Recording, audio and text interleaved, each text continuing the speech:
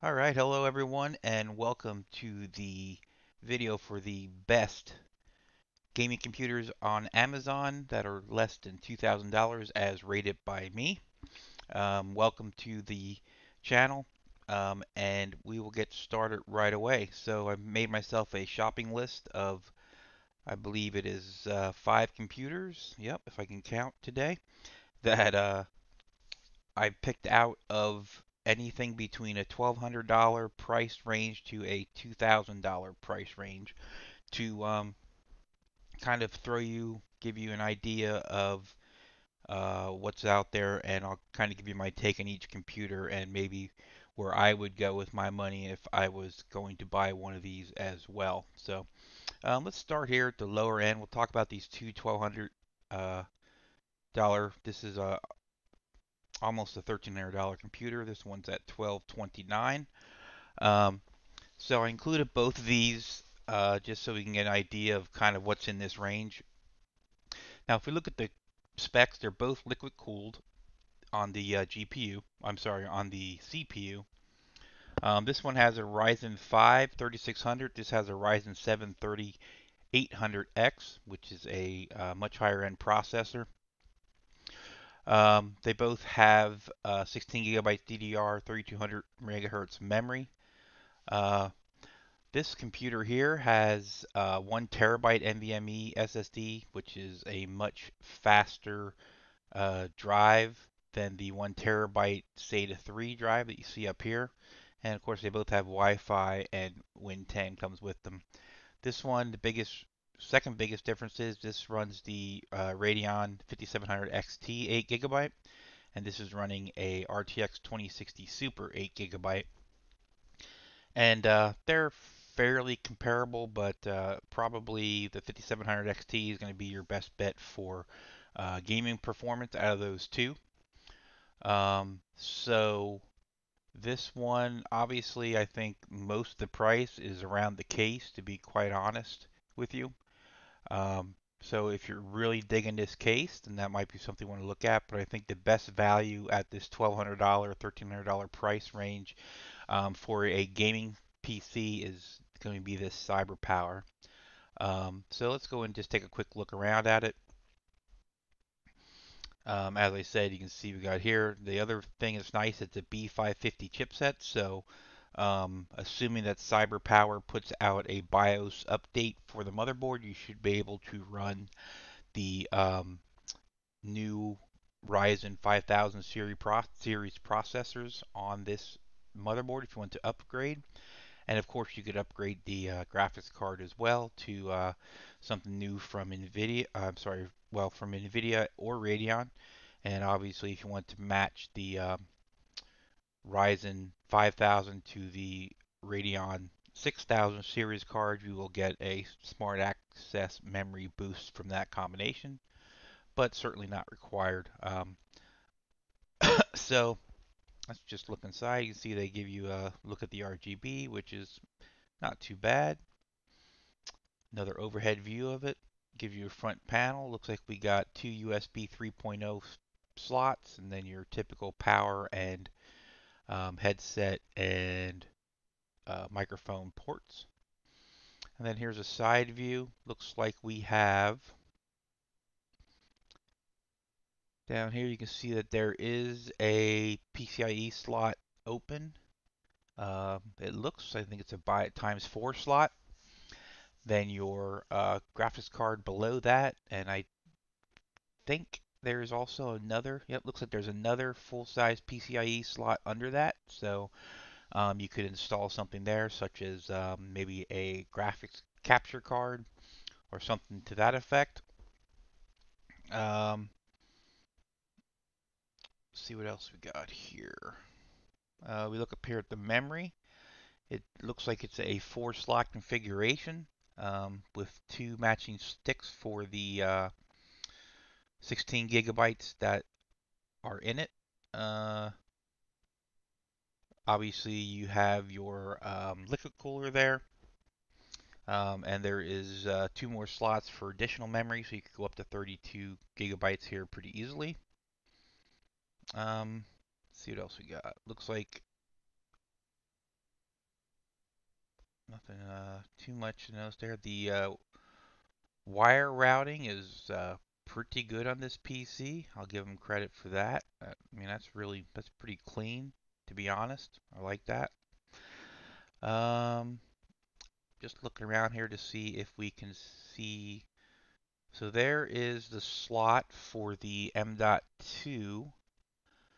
So it comes with an M.2, correct? Was that what I had here? Let me make sure I got my facts straight. Yep, so it comes with a one terabyte dot uh, M.2, so it looks to me like there's a second M.2 slot right there. So you probably could install a second uh, M.2 NVMe drive if you want it, which is always a nice feature.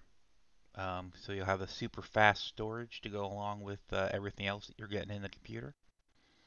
So that's a pretty that's a pretty nice computer for that for that price range. If you're looking for something in that price range, you know, sub fifteen hundred dollar kind of mark, this is this is definitely a nice option. So let's go back and look at excuse me what else we have here. So we got uh, two more. So um, the next two are in the fourteen to fifteen hundred dollar range. Um, so first one's Allied Gaming PC Patriot Desktop, and uh, that's a Ryzen 9 3900X, which is a pretty high-end processor from the previous generation of, of the Ryzen that just uh, compared to the Ryzen you know 5000 series that just came out. It also has a AMD RX 7, uh, 5700 XT, 8 gigabyte, 16 gigabyte of DDR3200, a 1 terabyte PCIe NVMe SSD. It's running an X570 chipset, which is nice because uh, assuming that Allied Gaming has a BIOS update, you'll be able to run the new 5000 series processors in this board as well. Uh, 600 watt power supply, uh, of course some RGB, and it is Wi-Fi ready.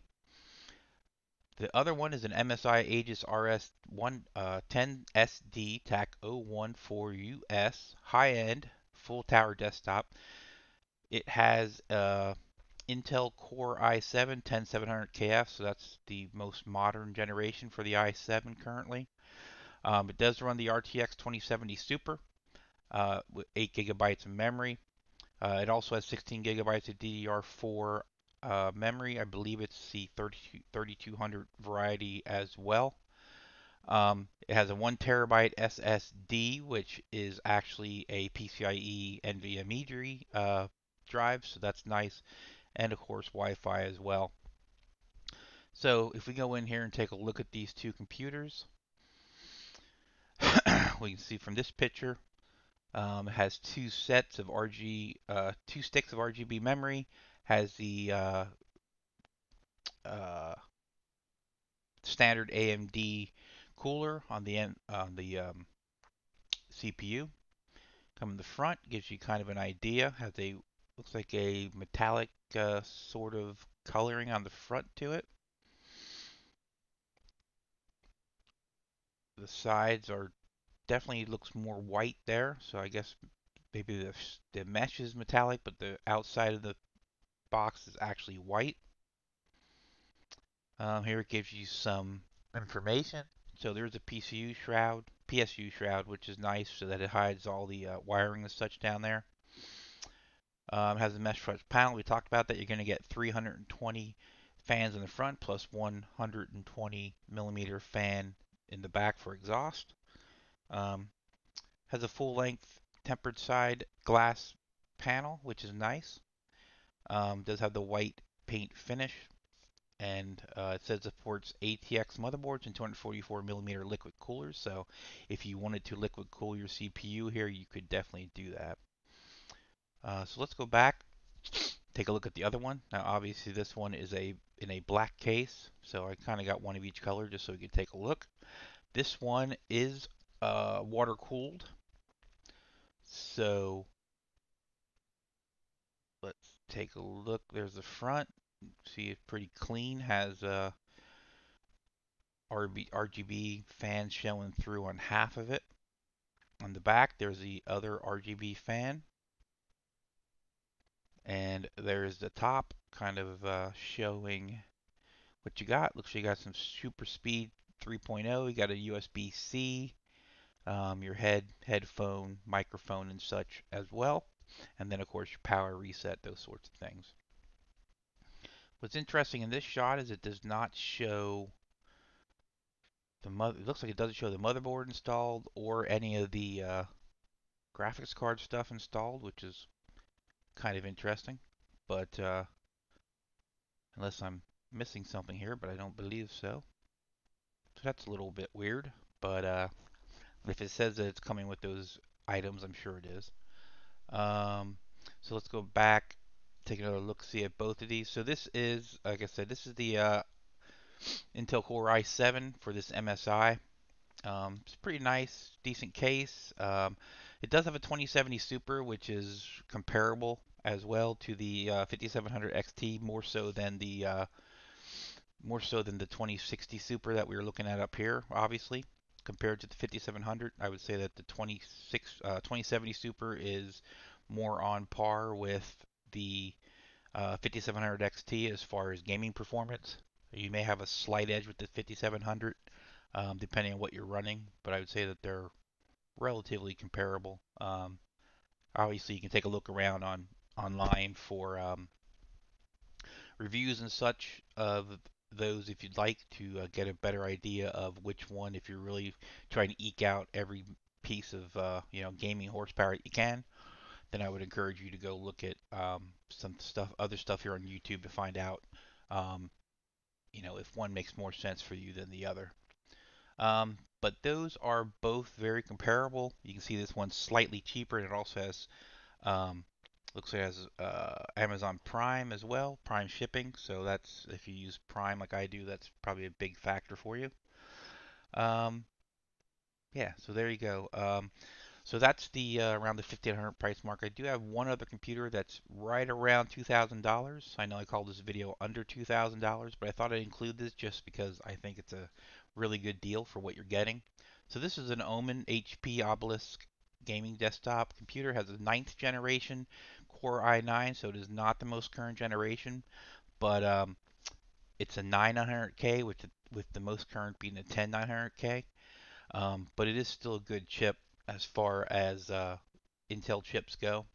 Um, you are getting NVIDIA GeForce RTX 2080 Super, which is only really beaten by the 2080 Ti of the uh, you know the 20 series RTX cards and uh, you're getting 32 gigabytes of HyperX RAM, which is nice RAM and uh, nice capacity there.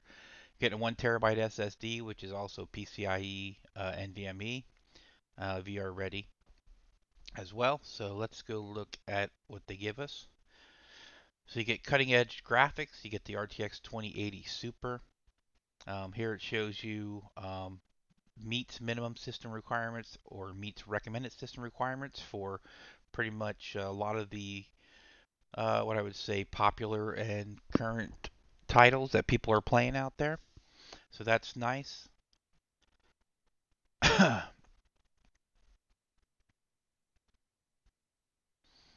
um, do does not come with a monitor. I think they're just trying to show some software that uh, comes with it. So it shows you some of the uh, features that come with it. Um, does have, like we talked about, RGB um, and a bunch of availability for upgrading over here. Um, so that's cool. Nothing uh, really uh, terribly, uh, you know, you could talk about that. Does come, as you can see down here, the um, wired keyboard and mouse. There, they are included. Um, there's a DTS headphone X jack. It also comes with a set of headphones, I believe. We'll go down and take a look at that, and it is overclockable, so that's always nice as well if you're into overclocking. Let's just go down here and look. Uh, yeah, so here's what comes with it. Um, so, you know, I take that back. I don't. Let me let me double check here. Make sure I'm not guiding you guys wrong here. Uh, so it gives you the software. We talked about that. Talked about the drive and the memory. Now this is 2666 um, SRAM. or SD RAM, so um, it is not the fastest out there, but um, you definitely can upgrade that if you'd like. Um, and as we uh, saw, it looks like it's upgradable to 64, so there's probably uh, two more slots that you could stick memory in as well. Uh, let's see. Yeah, so it comes with a keyboard and mouse, black uh, black wired keyboard, volume controls, and a wired optical mouse.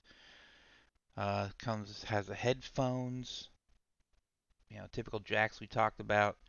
Got your HDMI on the rear, and then three display ports. So you got four connection uh, types on the back for monitors. And that is about it. And then, like I said, it does show down here some other features, other things you can get. Um, this keyboard would be uh, a nice keyboard, Cherry MX, if you're into that clicky style of uh, switches like I am. And then, of course, you can get yourself a carry bag if you like. And there is also the uh, wireless charging pad for your mouse if you're looking to do something like that as well.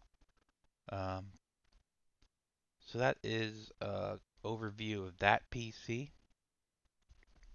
So if you go back here and look at all these PCs, like I said, if you're looking for something, uh, I would say more budget friendly, but has a little, you know, but something that has a, a, a nice gaming um, ability, I would definitely look at this CyberPower PC Game Supreme. Um, and as I showed, it is liquid cooled. Um, you have the Allied Gaming around 1500 as well as the MSI Aegis RS in that price range. You can see that uh, all these computers I selected are highly rated, except this one does not show ratings, which is kind of odd. Maybe it's new and doesn't have any yet. Excuse me. And it also does not have Prime, nor does this one up here. So um, actually shows Prime free delivery. So I guess uh, it actually does have. It's not your normal Prime delivery. It's actually Prime free delivery. So um, as far as what the time frame is on that compared to your two-day shipping with Prime, I'm not sure, but uh, shipping is free in any case for these five, so that's good. Um, so we looked at the, like I said, the Allied Gaming versus the Aegis. Um, if we look at it, we got the 5700 XT here, we got the 2070 Super here. You might have a slight gaming advantage here with the um, 5700 XT, but uh, you know it's it's all about what you want. Um, MSI is a pretty reputable reputable brand, and it is a full tower, so you're going to have good expansion ability if that's something you want to look into. Also, this one is liquid cooled, as we saw. I just want to go back and double check we went through a couple things. Yeah, so you can definitely see that this one is liquid cooled here. Um, but it does look like it's only a single radiator uh, cooling, which is fine. Uh, I prefer two though, but um, I'm sure you could install. It looks like there's room up in the top here to be able to install a uh, larger cooler if you like, or you could replace it in the front here with the cooler um, where the RGB is if you like to do that instead.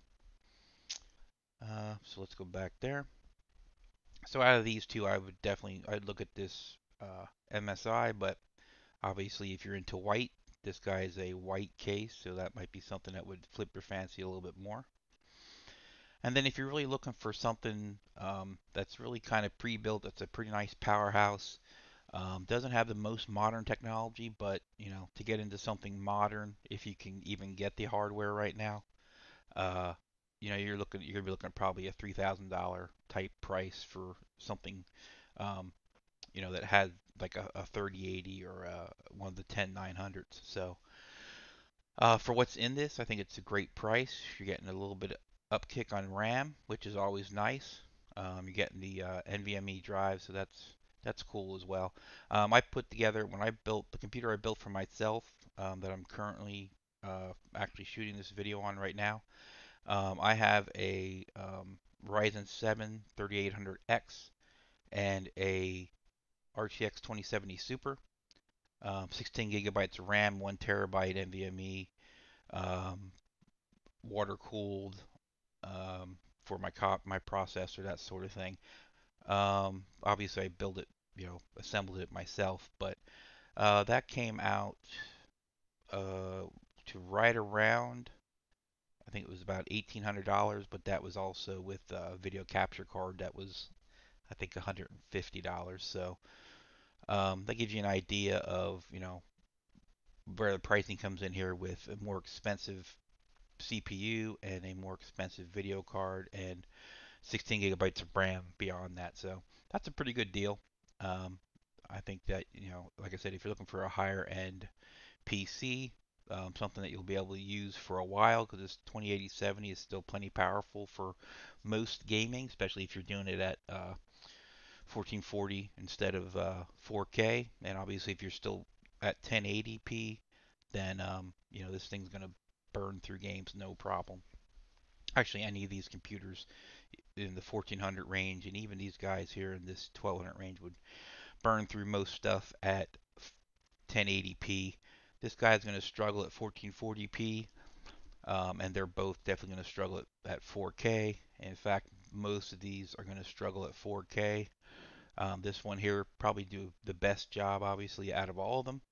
Um, 2070 Super, I'm running mine at uh, 1440p, and uh, it does pretty well. I can get the highest settings on most games, but not all, um, with my Ryzen 7.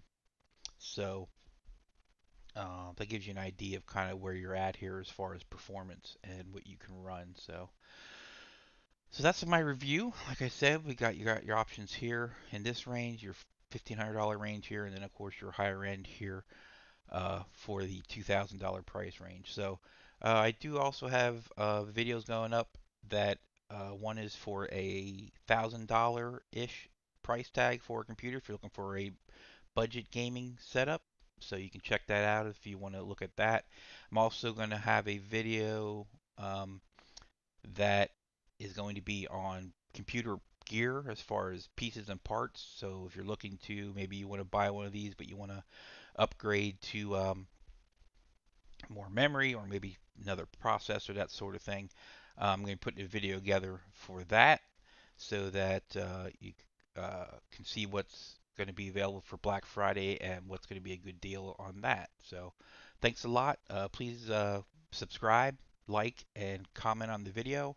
Um, I am going to add links down in the description for all five of these so that you can follow those links to my uh, Amazon affiliate links to um, help out the site. Um, so I'd appreciate if you would use those links if you're coming to look at any of these computers.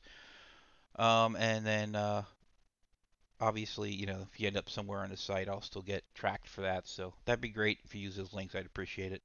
Um, that is all I have for today, and I will say looking forward to see you in the next video. Thanks.